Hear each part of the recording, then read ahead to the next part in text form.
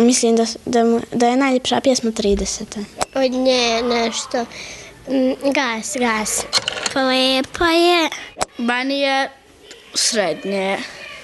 I lijepa i ružna. Visoka je i mršava. Ne, ne bi prepoznao.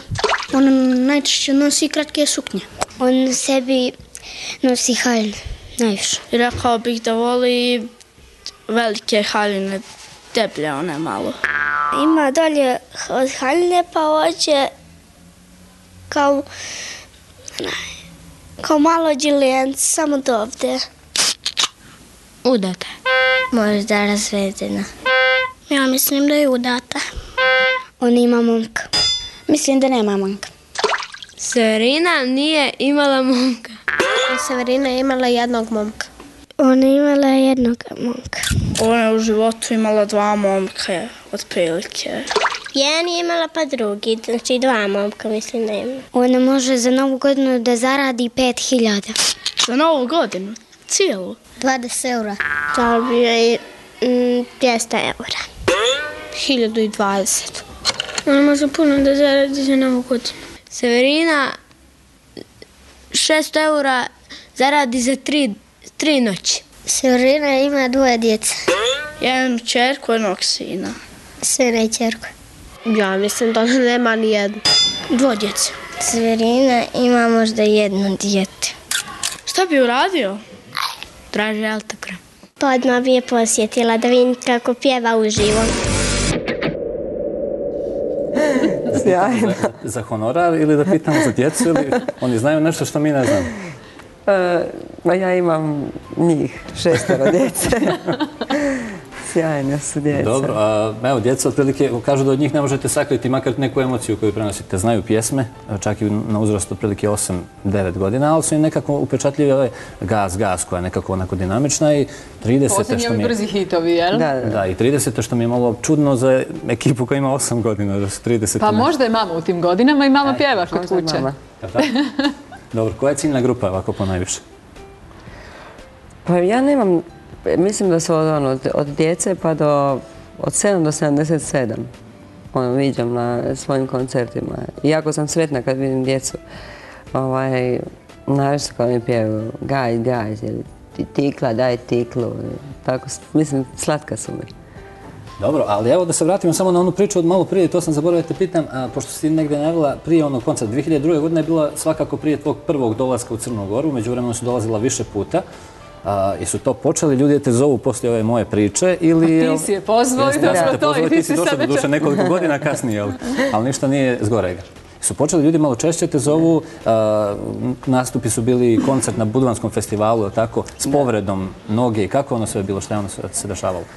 Pa je, ali dobro, nije bila povreda grla, pa je onda bilo lako. E, ne znam sad da li nakon toga, ja sam loša sa vremenom i ovim razmacima, e, ali nekako zaista tad u tom periodu nije bilo konkretnih nekih, ponuda. Kad se desila, mislim da smo i došli, da je to bila za, za novu godinu, mislim 2006. ili 2007. Sad nisam sigurna. Tako, znači 3-4 godine nazad svakako, znači čekali smo 30 ipak. Da. Dobro. A Dobro, gdje si ipak za novu godinu? E, za novu godinu e,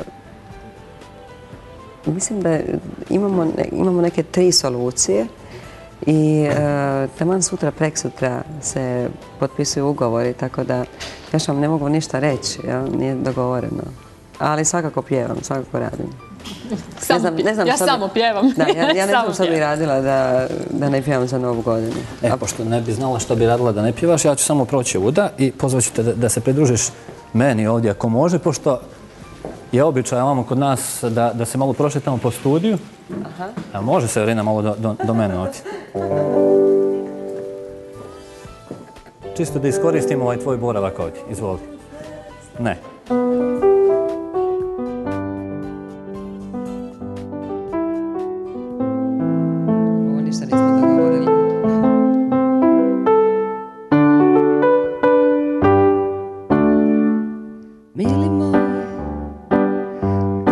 Nisam prije shvatila Ko je one tajne šifre na mom putu zabrisao Neko pača Sam za drugim vidno patila A ti si bio onaj rubac Što mi je suze brisao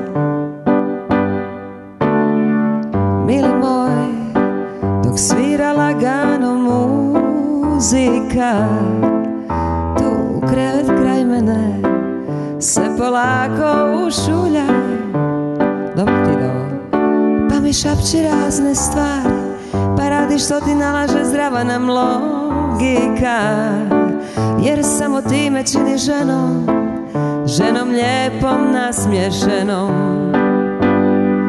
Da ti si bio moj princ Kad sam bila mala Tebe je lako voljet Tebi sebe sam dala Da me čuvaš, da me maziš Da me paziš, da me ljubiš Da me ljubomorno gledaš Da me nikad nikom ne daš.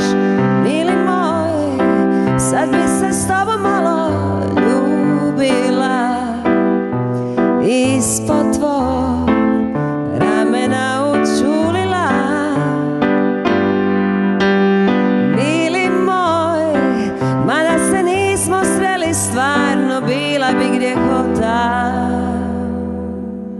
Jer sada znam da te volim, znam da te volim, znam da te volim Više od života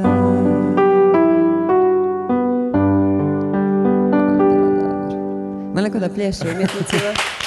Ja plješćem. O, hvala. Hvala lijepo. Ćemo da impuls. Ja mi? i najavljamo impuls. Jako ste me iznenadili.